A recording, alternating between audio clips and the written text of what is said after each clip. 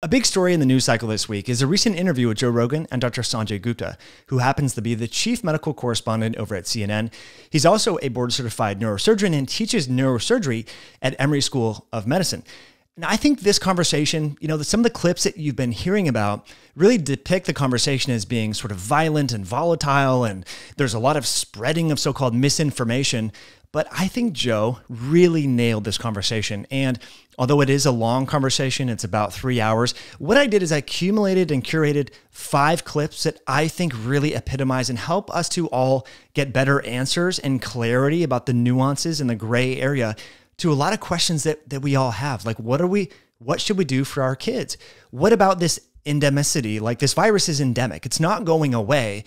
So that sort of changes the conversation and causes us to then, or it should cause us, to reprioritize our health. A message that, of course, you know my bias. We've been talking about promoting health. We've been critical of the fact that no health officials, the, no president, no prime ministers, like virtually no one on network television has been promoting exercise, has been promoting walking, has been talking about the fact that in the end, COVID 19 is a vascular disease and people can exacerbate or worsen their cardiovascular disease by uh, partaking in unhealthy living. And that we that that is the root cause of the problem. So we're going to start out with this clip because Joe does just a phenomenal job of pinning down Dr. Gupta to talk about this. Now, here's what I expect of Dr. Sanjay Gupta. So if he does see this, I expect him to include this into his narrative on CNN to start saying, "Hey, look, you know, to CNN and and you know Time Warner and AOL Time Warner that owns uh, CNN, I believe, to say, hey, you know, maybe we shouldn't have like Chick Fil A and McDonald's and uh, processed food companies advertising on our network. You know, maybe we should be promoting healthy living instead of just demonizing people who choose not to wear face masks when they go to the park. Like, like that's become the narrative here is like masking versus non-masking. It's all these false dichotomies. We're just doing circles and we're arguing over two things that honestly probably aren't going to move the needle. And, and, in fact, as Dr. Gupta says, this virus is not going away. This is endemic. It's here to stay. It's not going to disappear. So the onus should be on you. And, and the Fauci's and the experts should be saying, you need to walk, or here's what I do to stay healthy. Here's what I am doing. We should be interviewing Joe Rogan. He should be on CNN saying, okay, Joe, wow, you're, you're 54 and you had one bad day. Okay, what did you do? Well, we should be promoting this to other baby boomers and people that are in their 60s and 70s, right? Like, should we not? And anyway, Joe gets into this. I think he does a great job. So let's hear from Joe Rogan. When you say long term symptoms, what do you think is going on there? Mm. Is this a result of overall poor health in general, lack of vitamin supplementation and exercise, and uh, just a, a robust immune system, and just a person who's eating poorly, sedentary lifestyle? Like, what is causing their body to have this sort of reaction where some people get through it quite easily? Mm. Young people in yeah. particular, like my children. Yeah. My children got through it. It was like the worst was like it was like a day, and my other one had a headache for right. a day. I, and I and I you know thankfully I think mo- most people are that way right? I, yeah. When I say most, I mean you know even among adults, eighty percent. Right. So should we be making decisions based on the small amount of people that have these long-term sy- symptoms, and not instead addressing why did these individuals have these long-term symptoms, and is this something that's inherent to their own biology, their own lifestyle choices? Is that what the consequences are coming from, or is it coming from this very serious disease? Like, shouldn't we look at it in terms of what does this do to healthy people, mm-hmm. and if these people are not healthy, what can we do to make them healthy so mm. that they could have a more robust immune system and a more, uh, you know, a more favorable outcome? I, I, Instead of just thinking we should vaccinate kids. Well, I mean, all kids. Why can't we do both? Wait, wait, wait. Hold on. He said we should be doing both. So, with all due respect, Dr. Gupta, I have not heard you talk about doing both. You, and in fact, your bias came through on this entire conversation. You've been only focusing on one thing vaccination, vaccination, washing hands, masking. Okay. That's what you've been talking about for the last 19 months. With all due respect, you haven't been promoting both. You've been promoting one thing. Now, it turns out that by doing both, when you exercise, you actually improve the efficacy and the post vaccination response. So, the people in the pro vaccine camp and the people who feel so comfortable going to restaurants and gyms now that they're requiring passports, they should be encouraging people to get healthy before they get jabbed. I mean, they should be the most excited but oftentimes, they're the ones that don't even exercise, which is so paradoxical because you're like, dude, the body's immune response is what determines the immunity. And if you have a crappy immune system because you're burdening it down with hyper palatable, ultra processed sugar and crap, and you're, I have a story for you I'm going to tell, share with you in a moment here, um, then what are you doing? You're, you're, you're not getting the best value, especially because I can't even go here on YouTube, but we know that the protection seems to wane over time.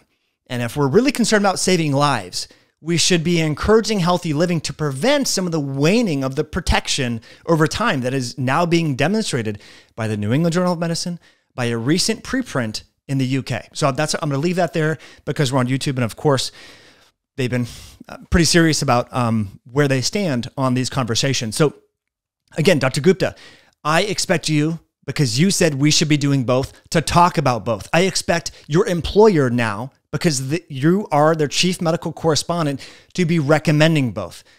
I'm not going to hold my breath because we know how these things work, but it's important that we that we talk about this because everyone talks about we should do both. We can do both. We can wear a mask and we can promote healthy living, but they never promote healthy living. They only talk about the masks and the hand sanitizer and the distancing and the closing of businesses, it, which is weird to me. Okay, um, so Let's talk about uh, the 80 20 principle. You know, Pareto's principle, the 80 20 rule or the 90 10 rule. Well, it turns out, and Joe does a phenomenal job of extracting this from Dr. Gupta. And again, this is from a network that, in my opinion, and according to a lot of people, have completely overestimated the realistic health ramifications correlated with this particular pathogen and the realistic risk for most people. As Dr. Gupta says right here, this virus adheres to the 80 20 principle. 80% of infections are mild eh, or even asymptomatic, but you never hear that directly from CNN. Remember, they have the ticker counter, they have how many people have died, they have the hospitalizations, ICU bed capacity, the whole thing. Like they're sharing the scariest of the scary, when in fact, that's only a small subset of all the people who are infected. So here we go with Dr. Gupta. The risk of getting severe disease was four to five times higher yeah. if you if you were obese.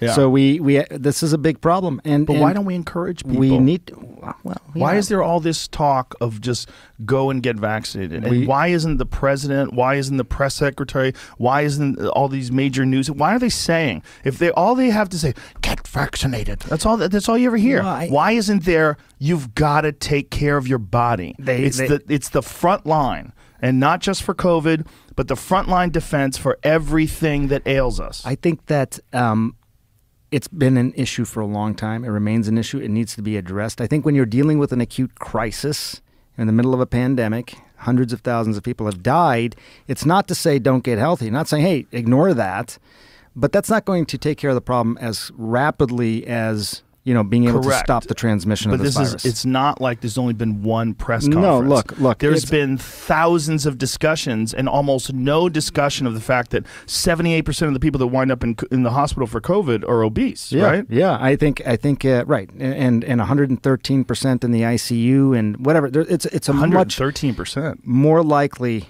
to How end you up, get a more no, than no, 113% more likely to oh. end up versus oh. those. But yeah, this needs to be addressed. Like Joe, we, we spend four trillion dollars a year on healthcare in this country. Seventy percent of the diseases are probably totally preventable, and most lifestyle. of that is lifestyle, yeah. and most of that, even more specifically, is diet. So I think we there's always been again going back to the nuance of these discussions. People say, "Hey, look, you know, we can't shame people who are obese," and and no, nobody's saying shame people who are obese. You're saying there's a real problem in this country. If we spent one percent of our healthcare budget on actually helping people get fit, and making sure had healthy food and whatever it may be, it would go a long way. We the don't we don't do that. This expression you can't shame people is that it's been distorted down to the point where even bringing up the fact that someone is obese is shaming them. And that is ridiculous. Yeah, that's what I'm saying. That's what gets in the way. Yeah. And, and it doesn't need to get in the way of this. We can have a, a, a good, smart discussion about this. And doctors yeah. and nurses, they need to be talking about this stuff with their patients. So, again, I thought that clip was great because you have a doctor who's been promoting, you know, participating in some of the fear mongering and over exaggerating some of the realistic health concerns for a lot of people. And he goes on to say that, yeah, there's big issues like being overweight and obese and having prediabetes and diabetes that we haven't talked about. And it's a major problem. And he goes on to talk about the different countries and how rich, wealthy, Western type countries, you know, whether it's, you know, the US or Canada, the UK, they are faring much more poor, much more poorly compared to countries who don't have the resources because those countries have healthier, leaner people. They don't have the widespread, they might have more, you know, sort of uh, infectious diseases and challenges in that regard, but they do not have the pr- propensity of chronic diseases. Now, we're going to get into this premise that I think Dr. Gupta, again, I'm not trying to be too critical of him, although he does tell a little white lie. We're going to get to that in a moment. But he promotes this idea that we've been talking a lot about that COVID 19 is a vascular disease. Now, I want to get into that and talk about that research, but first, I want to welcome you all back. If you're enjoying this content, please hit that like button, leave us a comment below. I'm Mike Mutzel. I'm very grateful that you're tuning in here. Also, I do want to let you know, you know, Joe did mention vitamins and exercise and all of these things. One vitamin that's very important to consider this time of year is vitamin D because we know that the sun is actually getting lower and lower in the sky, especially if you live south of Atlanta, Georgia, here in the US. You know, what's called the zenith angle of the sun is insufficient, even if you get ample sun exposure, to induce cutaneous synthesis of pre vitamin D. So, guess what? You need to get it from food. So, if you're not regularly eating cod liver, if you're not regularly eating some of the foods that have really trace amounts of vitamin D, you should invest a small amount of your paycheck into vitamin D supplements. So, over at our sister company, Myoxcience, we have a range of solutions in every different delivery system. If you like soft gels, we got you covered. If you like vegetable capsules, we have you covered. If you like gummies for your kids, we have a solution for you and also a liquid solution, which is, by the way, the most affordable. So, you can support your family's vitamin D levels and vitamin D health by going over to Myoxcience using the coupon code podcast to save on your favorite delivery system of vitamin D. I personally recommend the Essential Fatty Nutrients because it has vitamin D and its partner in crime, vitamin K, in its MK7 form of vitamin K2. So those nutrients work synergistically, kind of like you know Batman and Superman together. They work together to help support uh, whole body health. So again, you can use the coupon code podcast over at myoxcience.com. Now, let's get into this premise, and we're going to hear about a little white lie that I, I don't think is very little. I think it's something we should point out here with Dr. Gupta um, about myocarditis in kids, but first talk about why kids might be, uh, why, why we're hearing about in the media kids getting hospitalized from COVID. What is that? Well, it turns out that COVID 19, scientists at Scripps University and other universities, and Dr. Gupta does a great job. Give him lots of credit for talking about this over and over in the podcast. It's a vascular disease. That study on the spike protein um, that they did at the Salk Institute I'm yep. sure you're aware yep. of that. Yep. That showed the spike protein is responsible for the deterioration of blood vessels. Yeah. That, that, that this is I mean the Salk and they were the same ones who who then think classify this potentially as a vascular yes. disease as yeah. opposed to a respiratory disease for that very reason. They think that there's these these uh, receptors that are really you know predominantly in your blood vessels that do get you know that the spike protein is binding to. Yeah. So th- there was a study that just came out basically saying you know frankly reminding people that when you inject you should aspirate. You got to aspirate a little bit, yeah. make sure you don't get blood back, and yeah. and uh, and then be able to to inject directly into the muscle. Is there a specific site that's more conducive to a straight muscle than to hitting a, a vein or a blood vessel, or is it just dumb luck? Um, you know, when you're injecting into the, you're not, you know, you obviously got big blood vessels around, so obviously right. you have to avoid those. Within the muscle itself, you may have smaller blood vessels, small veins, small capillaries. And so, is it just luck whether or not the vaccine gets into those? Into the blood vessel? Yes. I mean that would be bad if it, if it got into those. So you know you that you're supposed to aspirate a little bit to not have that happen. It's unusual for it to happen, but I think that there might be something to that. There's a study that just came out I think over the last couple of days showing that there may be some concerns about more adverse effects in people who had it injected directly into their bloodstream. We're just now recognizing that severe COVID 19 is more of a vascular disease than a respiratory disease. So we should be treating it as such, encouraging exercise, encouraging walking, encourage people do resistance training two days per week, getting good sleep. Just a few nights of bad sleep can raise your blood pressure. They can alter the circadian rhythms of your body's natural blood pressure and and you know water retention pathways and the whole renin angiotensin aldosterone system the ras system. There's so many things going on here um, you know sauna therapy movement. And so here's a great picture to share with your friends and family. Hey you're so worried about covid-19 you're so worried about ending up in the hospital or dying. Then you should be very concerned about the health of your cardiovascular system. You should be walking you shouldn't be having sugar on an airplane which by the way Dr. Gupta did mention there that nurses and doctors should be promoting and, and, and encouraging weight loss, right, in their patients. The obesity prevalence amongst healthcare pr- practitioners is the same as a general population. Friends, I can't tell you this enough times.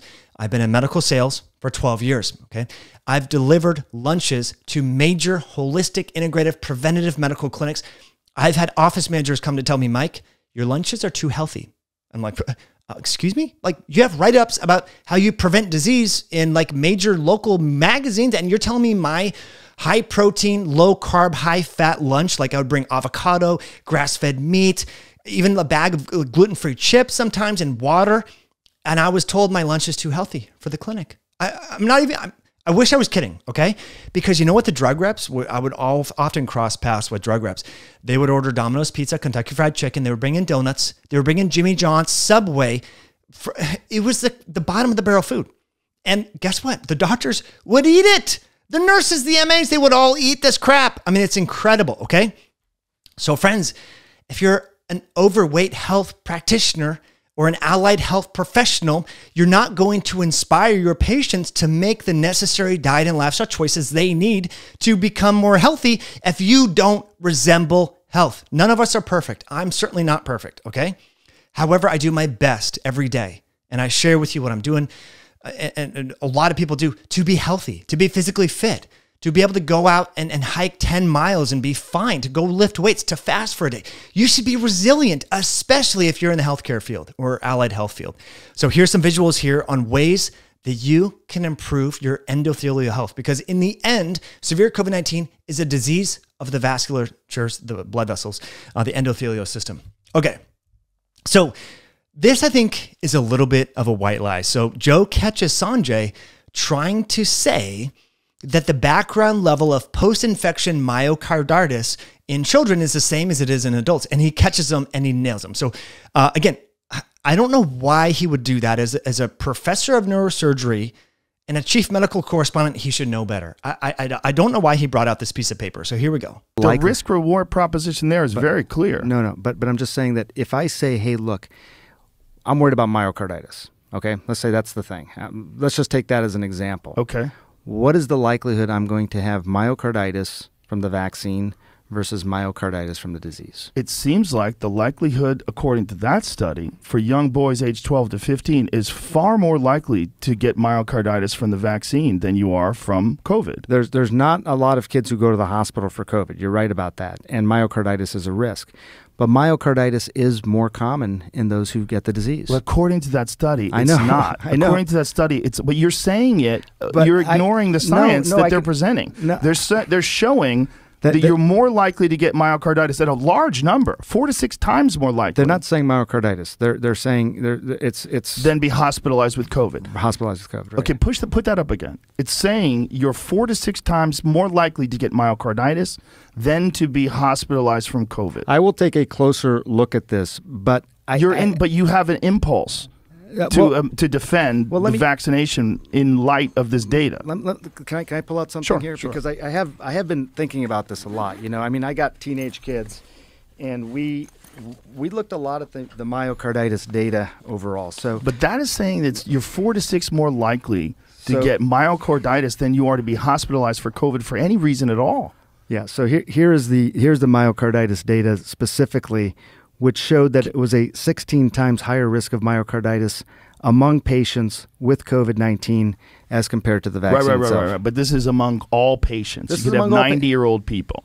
They, they, they count as patients, right? Yeah. You're talking about, we're specifically talking about 12 to 15 year old boys. What I was saying to you is your confidence in not worrying about catching COVID because you're a healthy guy and because you've been vaccinated. So you catching an infection of a highly novel virus, which is a real thing you're less worried about that because of your circumstances. What I'm saying because is I'm because I have immunity these young boys will breeze through this thing for the most part. You know that, right? I think most, most young people, totally fine. Most young people breeze through it, including my own children, breeze through it. Yes. So again, that's a little disappointing. Uh, we'll just say that that was a his moral compass was a little off when he pulled out that paper and tried to make the the big leap in saying that the risk of post-infectious myocarditis in children is the same as it is in adults, which is completely not true. Here is data from the American Academy of Pediatrics. Remember, friends, that out of 75 million kids in the US over the last 20 months, only 16,000 have been hospitalized. Now, that might sound like a lot. You're talking, do the math 16,000 divided by 75 million. Uh, it's such a small number, it, it's not even significant on your phone. And the percentage of all hospitalizations from COVID, children only comprise 2.2% of those. Uh, the rate of, of hospitalization is 0.9%. So the background level of post infectious myocarditis for kids is not the same number as it is for adults. It's just not. That is a little white lie. And I'm, I'm disappointed that Dr. Gupta brought that up. I, I hope he retracts that statement. so here's the deaths. Again, if your child died, it would be devastating. But we know, friends, we're seeing an inc- a slight increase in the death percentage and rate in children from, you know, they, they used to comprise 0.06% of the deaths. Now it's like more towards 0.09% of all the deaths. You might wonder, well, that's probably because the virus is changing. My argument is that we know that obesity rates have increased. We know that when you're more overweight, there's more collateral damage to your endothelial cells. And we know that your endothelial cells, which, which are part of your vasculature system, comprise the microvasculature, they're the functional unit um, uh, in, in your body, they're compromised by being overweight. And we know the rate at which kids are gaining weight increased. It doubled. It more than doubled. We shared that on recent videos. Go and check that back out in, in the upload feed here on, on you know YouTube and iTunes. This was Journal of the American Medical Association. This was also the CDC's own website, looking, I think, at 1.2 million um, hospital, uh, I'm sorry, BMI measurements in children from Kaiser Permanente data. So this is corroborated uh, in various different ways. Kids are more overweight now than they've ever been, ever in history. So why are we surprised that more and more kids are getting hospitalized or having severe disease? Okay. Yeah, that could be due to the viral load of the, uh, the, the, the infectious nature of the Delta variant. Sure, that could be a part of it. But I think it's you're foolish if you pretend that it's only because of the Delta variant. And it's not that we've made kids more unhealthy because we have. They're more overweight, they're more sedentary, right? We, we canceled school and sports. And parents have been so, you know, helicopter parenting of these kids. They haven't, um, you know, let let kids play. They're afraid to let kids go outside. Okay, so now let's talk about the the fact that this virus is not going away. So here was a little cognitive dissonance that I had throughout this conversation. On the one hand, Dr. Gupta acknowledges natural immunity and he acknowledges, and I believe he says it right here, that this virus is not going to go away. It's never going away. It's endemic. Okay. Remember, we shared uh, you know articles about this from Nature magazine, and Nature is a very reputable journal. Um, they talk about that this virus is endemic, yet he, he continues to pretend that he's never going to get exposed to this, and he doesn't want his kids to get exposed to, to this.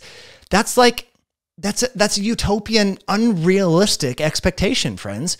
This is endemic. That's like saying, oh, I hope I never come in contact with influenza. No, that's not the way to look about it. You got to say, I want to make my body so resilient that if I get in contact with this, I'm going to have a low viral load and not long lasting complications. That's the way we view, this. Not pretending that we're going to avoid this and skirt this thing and skirt exposure forever. Like, I feel like we could bring this pandemic under control, not extinguish it completely. Probably this virus is here to stay, but we could bring it under control. Especially if we're promoting immunizations to kids or to, to, to everyone and boosters for everyone. We also need to simultaneously be promoting healthy living because that can make these these interventions probably last a little bit longer. But uh, anyway, here's a study here that showed that the risk of heart disease formation and atherosclerosis in young children starts at the age of two. This is an old paper. It's been known since 1998 that cardiovascular disease starts at the age of two, friends. Okay, so again, we canceled school, we kept kids home, we do all that. Okay. Now, another thing that that's many other people have been talking about how US is one of the few sort of developed countries that promotes freedom and individual responsibility and all of this that doesn't consider natural immunity as a thing. They don't even we don't even acknowledge it. Okay, um, there's only one form of immunity and has nothing to do with being natural, so to speak. Uh, and so there was an article here in the British Medical Journal that talked about this. Like, hey, why are we ignoring this when we know that the odds of a breakthrough case versus a reinfection are much higher? You're much more likely to have a breakthrough case versus get reinfected if you've had a prior infection. So Joe goes on to, to talk about this, and Dr. Gupta agrees.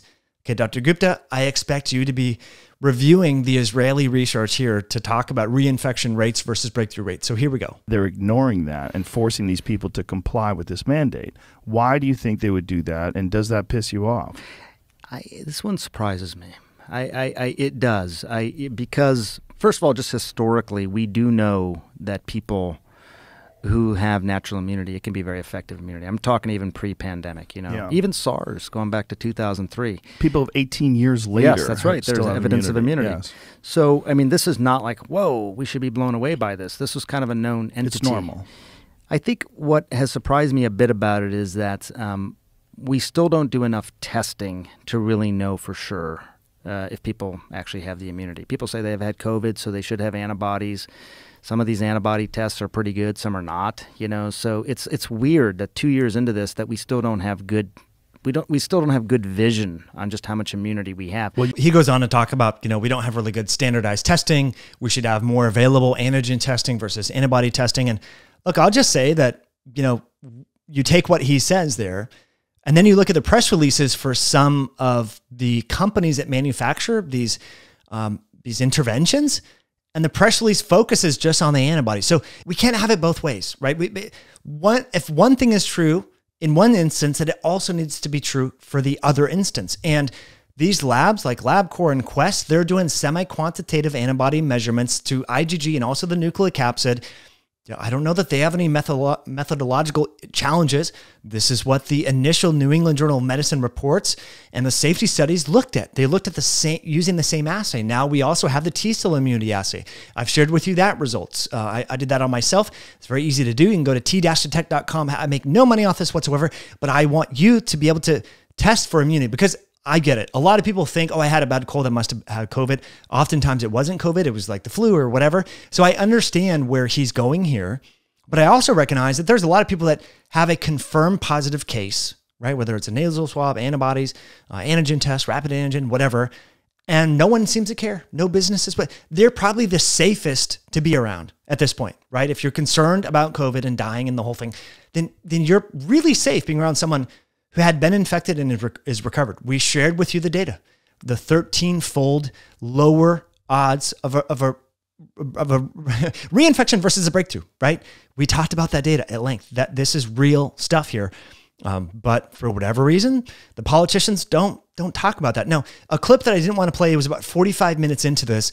You know, Joe really pins down uh, Dr. Gupta again and says, Hey, were you surprised that two FDA top officials that are in the vaccine division in terms of regulating and approving vaccinations uh, resigned as a result of the White House announcing prematurely that they're going to roll out booster shots for all of Americans?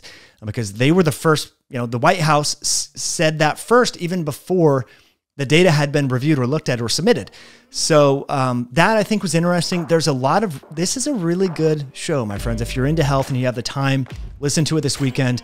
I think you'll find some of these clips that I found helpful, but there's additional parts of the conversation that hopefully you get some value from. It's it's not super combative. You know, they do talk a lot, a lot about the ivermectin and all that. I'm not even to get into that because I'm sure you've seen that. But hopefully you found these clips helpful. If you did, you can hit that like button. Thank you for checking out the show notes. I will link some of the things we talked about and the resources and articles and so forth on heart disease in kids and all that uh, below. But anyway, I always like to share with you stuff that I find interesting, and I thought you would find these conversations and clips helpful. And we will catch you on a future video down the road. Bye now.